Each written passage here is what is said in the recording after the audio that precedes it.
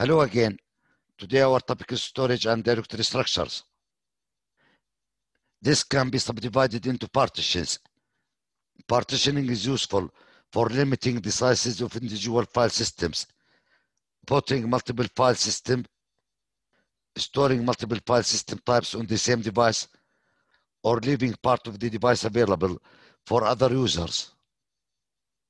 This core partition can be used raw without a file system or formatted with a file system.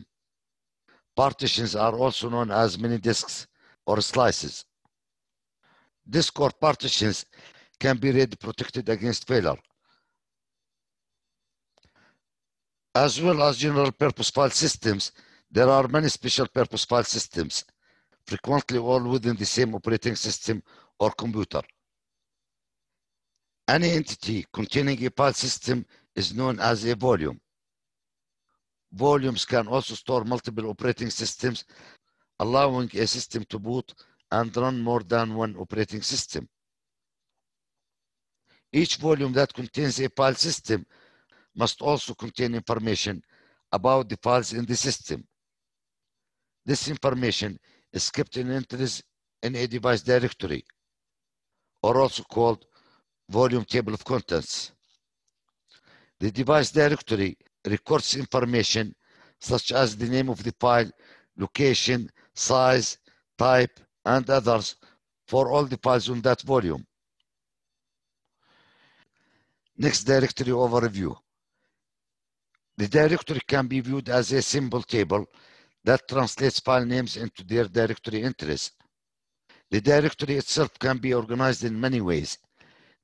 The organization must allow to insert entries, delete entries, search for a named entry, and to list all the entries in the directory. Here we have the most common used operations performed in directories. Search for a file in the directory, create a file, new files need to be created and added to the directory. Delete a file. When a file is no longer needed, we want to be able to remove it from the directory. List a directory, rename a file, traverse the file system.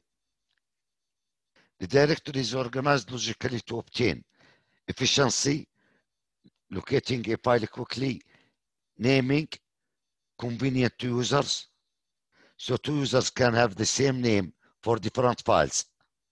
The same file can also have several different names. And the grouping, logical grouping of files by their properties. For example, all Java programs, all games, etc. Next, we describe the most common schemes for defining the logical structure of a directory. The simplest directory structure is the single level directory. All files are contained in the same directory, which is easy to support and understand. A single level directory has the two problems of naming and grouping. Since all files are in the same directory, they must have unique names, and we cannot group files according to their properties or usage. The next directory structure is the two-level directory structure. Here we have separate directory for each user. Each user gets their own directory space. File names only need to be unique within a given user's directory. So no problem of having the same name for the file in different user directories. A master file directory is used to keep track of each user's directory and must be maintained when users are added or removed from the system. A search path is the list of directories in which to search for executable programs and can be set uniquely for each user. The searching in the two-level directory structure is efficient, but there is no grouping capability. An obvious extension to the two-level directory structure is the tree directory structure. Each user or process has the concept of a current directory from which all relative searches take place. Files may be accessed using absolute path names or relative path names.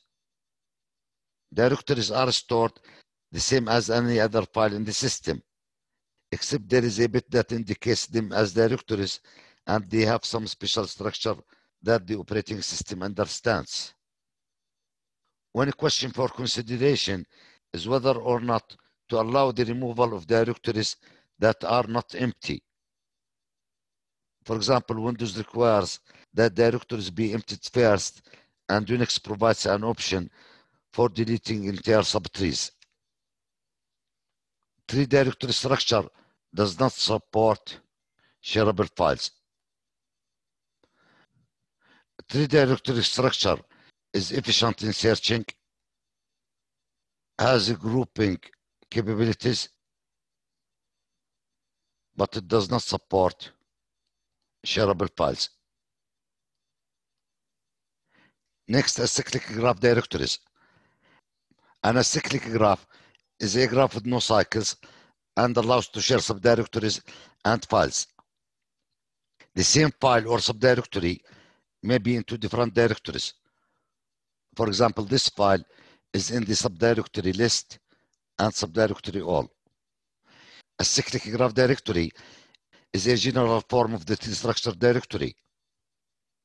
It's used in cases where two programmers are working on a joint project and they need to access files. These associated files are stored in a subdirectory, separating them from other projects and files of other programmers. Since they are working on a joint project, they want the subdirectories to be into their own directories. So the common subdirectories should be shared. The shared file is not the same as a copy file. When the file is shared, if any programmer makes some changes in the subdirectory, it will reflect in both subdirectories. The main advantages of acyclic graph directory are we can share files and searching is easy due to different paths. However, the cyclic graph directories have the following disadvantages.